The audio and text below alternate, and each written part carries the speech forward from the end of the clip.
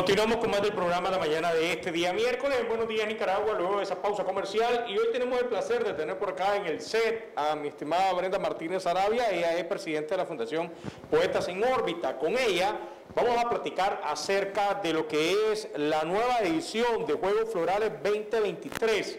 Bueno, obviamente eh, para que usted ponga mucha atención y conozca más acerca de esto, una actividad que lleva a cabo Poetas en órbita vamos a conocer un poquito sobre lo que va a ser esta actividad. Buenos días, un gusto que estés por acá y bienvenida. Buenos días, encantada, mil gracias por la invitación. Un gusto. Eh, bueno, mi estimada doña Brenda, coméntenos por favor, usted me decía antes de entrar al aire, de que Juegos Florales es su tercera edición. Háblenos primero de Poetas en órbita y hablamos de Juegos Florales, de las ediciones anteriores y qué, y qué depara esta nueva que se vecina. Bueno, nuestra fundación Poetas en órbita es una organización literaria que entre sus misiones está potenciar, apoyar a todos los que les gusta el arte, a todos los que andamos por los caminos de las letras. Para esto hemos hecho muchísimas actividades, presentaciones de libros, seminarios, charlas, talleres, certámenes. Tenemos un, este, el Festival Grito de Mujer, que es un festival internacional que tiene presencia en casi 40 países y nosotros somos los que estamos, pues, este, que nos permitieron organizar en Nicaragua, es, que es en contra del maltrato a la mujer. Y vamos a publicar por primera vez la antología en Nicaragua que se llama Grito de Mujer. Es de, de, mujeres, ¿verdad? Pero seis hombres quisieron participar en esa antología. Okay. Entonces Poetas en órbita es un conglomerado de poetas, eh, hombres y mujeres, que, obviamente se han unido para poder llevar a cabo diferentes actividades, no solo para promover la, parte de poesía, sino la literatura en general. Así es. Y usted ya mencionaba, pues una de ellas es esta actividad que han llevado a cabo y que ahora viene próximamente lo que va a ser este lanzamiento. Coméntenos ahora, por favor, lo que es Juegos Florales, de qué trata, por qué Juegos Florales, y usted me dice que esta es la tercera edición. Sí, bueno, los Juegos Florales, ¿verdad? Hay diferentes tipos de certámenes literarios, hay un, hay un tipo de certamen que se llama Juegos Florales. Sí, es la tercera edición y en dos categorías. Una, poesía y otro, novela corta. La poesía se llama Juegos Florales, Poetas en órbita, certamen de poesía Alfonso Cortés, dedicado a Alfonso Cortés. Y el otro, Juegos Florales, Poetas en órbita, novela corta Chuno Blandón. A ver. Sí, está dedicada a Chuno, pues un gran novelista, un gran escritor que, ¿Esto fue años, seguidos o no? no ¿Tiene cada seguido. Okay, este es el tercer año. Estamos hablando que esto inició en el 2020, ah, perdón, 2021. 2022 y ahora viene el 2023, que es la invitación. Así es. ¿Cuándo es el evento? Bueno, este, las bases están en la en la página de la Fundación Poetas en órbita. Okay. Entonces, inició Hicimos la convocatoria hace una semana y se cierra la convocatoria el 10 de noviembre. Para el ah, Perdón. Disculpe, eh, eh, el 10 de noviembre me está diciendo se cierra, pero ¿quiénes pueden participar? Y bueno, usted mencionaba novela, fue la de Chuno Landón, la, última edición que acaban de realizar. Este año hay un enfoque diferente, hay un género literario diferente. ¿Quiénes pueden involucrarse, ser parte?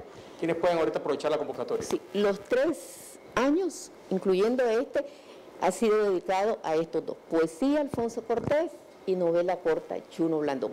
Pueden participar todos. El primer año hicimos, ¿verdad? Esto, pero los, los dos últimos años decidimos hacerlo en dos categorías, menores de 33 y mayores de 33, porque vimos que no era lo mismo que tal vez un muchacho que escribía poesía o novela de 18 años estuviera en un certamen compitiendo tal vez con uno de 50, con una enorme experiencia. Entonces hay poesía Alfonso Cortés desde los 16 a los 33 años, poesía Alfonso Cortés de los 33 años en adelante. Igualmente en la novela Chuno, corta Chuno Blandón. Ah, ok. Entonces, en esta categoría de novela y poesía hay dos categorías en edad, de 16 a 33 y de 33 en adelante. Así la convocatoria cierra el 10 de noviembre. A las 5 de la tarde. A las 5 y pueden ellos ya inscribirse entrando, obviamente, a conocer todas las reglas en lo que es el sitio web de Poetas en de Poetas en órbita, eh, así es. Hay un formato, bueno, eso me imagino que debe estar puesto en, en las normas, pero, eh, por ejemplo, eh, para los que quieren participar por primera vez, tienen que presentar un escrito, tienen que tener varios, porque muchas veces para estos certámenes literarios eh, uno de los requerimientos es que ya tenga una experiencia, no grande, puede ser mínima, pero que haya presentado algo eh, expuesto en redes sociales, en, una revista, en un diario. ¿Cómo, cómo, cuáles son estos requerimientos? para no podrían participar porque una de las primeros acápites de la base dice que todo escrito debe ser inédito, que no haya sido publicado ni esté en proceso de publicación, porque el premio al ganador nosotros le publicamos su obra. Ah, ok. Nosotros le publicamos su obra, le damos 40 ejemplares, le damos este, este diploma, lo llevamos a los medios de comunicación, entonces nosotros le publicamos su obra. Pues, Esto es premio general para las dos categorías para, para las dos, eh, edades, pues rango de edad. Ok. Sí. entonces estamos hablando de que tiene que ser primero inédito. Ya de ahí eso es para todos aquellos que quieran ser parte de lo que es esta nueva edición de Juegos Florales 2023 de Poetas en órbita, primero inédito. Segundo, ¿pueden participar de cualquier parte del país? Claro, claro. Este, en la vez pasada recibimos Huigalpa, Masaya, Granada, El Rama, sí, de todas partes de los cuatro puntos cardinales del país pueden participar perfectamente. Ahí sale la dirección y dónde pueden ponerlo vía correo Ahí sale todito en la base, está establecido la forma. Con un seudónimo, una de las cosas es con un seudónimo. Ah, Esa parte. Nivel nacional, inédito, y tiene que ser con un seudónimo hasta que lo conozcan.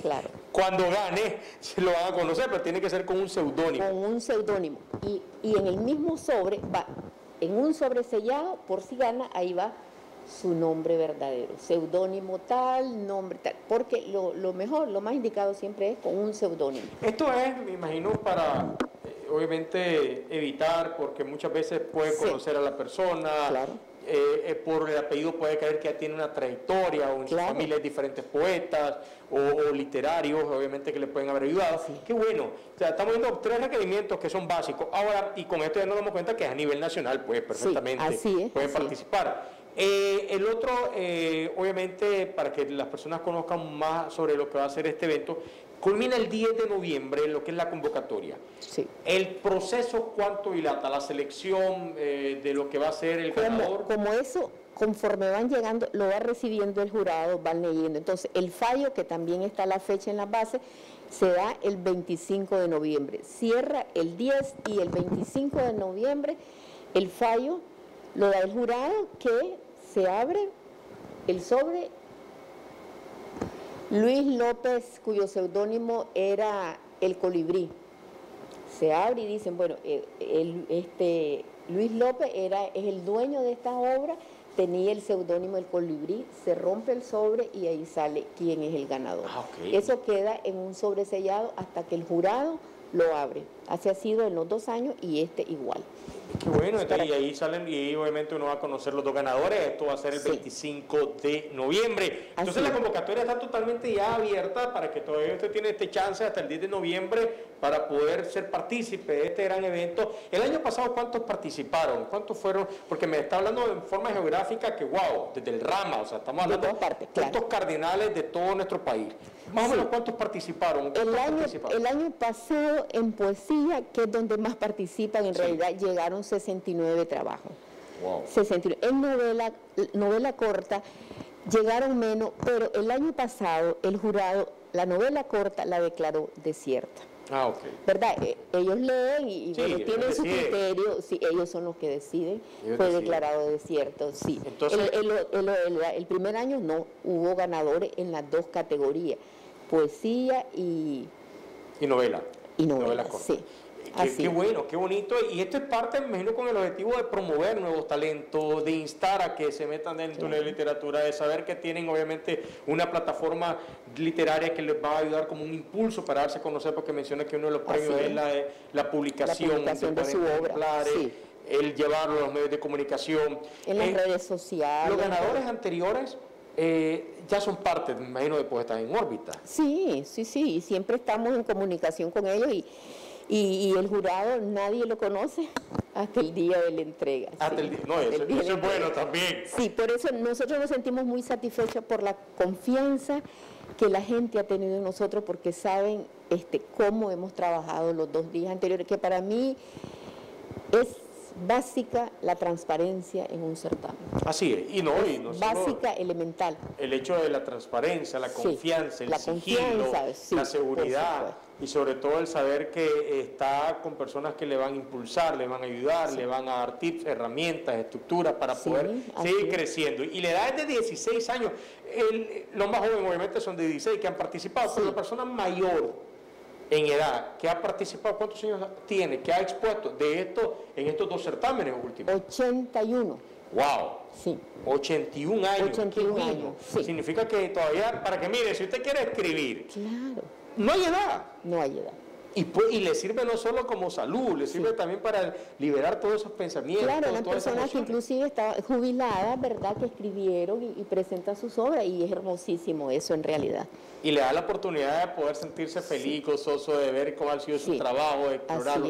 Qué bonito. Y, y, sobre todo vemos, bueno, más de 60, menos que este año esperan mucho más, que puedan inscribirse en la categoría de poesía, que obviamente además hay y en la categoría novela corta, que también es muy importante. Sí, claro, por supuesto, pero más poesía que novela. Y sobre todo, pues después tienen esa guía. Poetas en órbita, yo sé que no solo eh, eh, hace todo este tipo de actividades, también ustedes hacen eh, capacitaciones, talleres que le permiten a, los, integrantes o a aquellos nuevos personas que quieran involucrarse dentro de la literatura, el poder conocer cómo plasmar las ideas, el hacer una estructura el buscar esa guía para poder hacer una edición, una publicación, porque muchas veces somos más eh, eh, que nos quedamos como que hubiéramos hecho. O sea, Poeta en órbita trata de obviamente darle toda esta herramienta y eso es algo muy importante. Sí, y nos satisface muchísimo que muchos, valga la redundancia, muchachos y muchachos, nos digan, nosotros nunca habíamos estado ante un micrófono, Qué alegre que tenemos este foro para venir a expresarlo. Yo antes publicaba mis cosas así que las ponía en Facebook, pero ahora no, participar en una mesa, estar en, un taller, exponer su obra, es realmente para nosotros muy gratificante y para ellos también ha sido excelente, se sienten súper bien estar con un micrófono leyendo sus obras. Y también obviamente me imagino que eso es parte de todo lo que ustedes le dan, la ayuda, el taller, de perder el pánico el la charla, la forma de hablar, la seguridad, la expresión.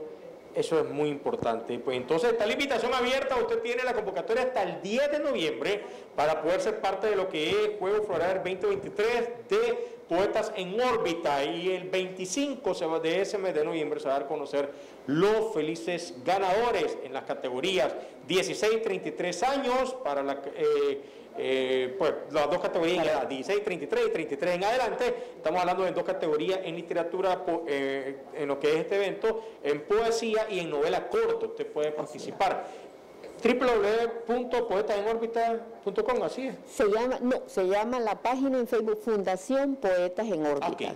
Fundación, Poetas, en, órbita. Así, lo buscan, en las, redes en las redes sociales. Y ahí va a aparecer todo lo que es la, la información para inscribirse. Mi estimada doña Brenda, muchas gracias. Muchas gracias a ustedes por invitarme. No, un gusto tenerla por acá y sobre todo el poder conocer de ello y le esperamos próximamente para que nos diga eh, también los participantes, o mejor dicho, cuando ya estén los ganadores, quiénes fueron los felices ganadores y conocerlos por acá. Claro que sí, traerlos, claro. Claro que sí, un gusto sería. muchas gracias. Vamos a una pausa, venimos con más del programa y más invitados esta mañana de miércoles.